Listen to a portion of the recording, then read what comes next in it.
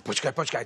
Ty mi chceš povedať, že ty sa kamarátiš s Julovou ženou? No, v podstate... Kamarátstvo, to je slabé slovo, ňaňku. Ja to chápem, prečo by behal holej medzi dvoma nezávislými štátmi. Počkaj, počkaj. Nie som jediný, komu sa to stalo v našej rodine, že? Miky. Ale toto bolo celkom dačo iné, hej?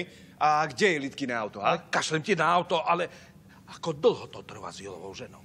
Ako ono, stalo sa to tak, akože... Ja som nevedel ani kedy. Ono, ale bolo to iba raz, prisahám. Klame. Ja ťa zabijem, ty. Počekaj, počekaj, nech pôjde Litkine auto. Ja ti dobre. Ale...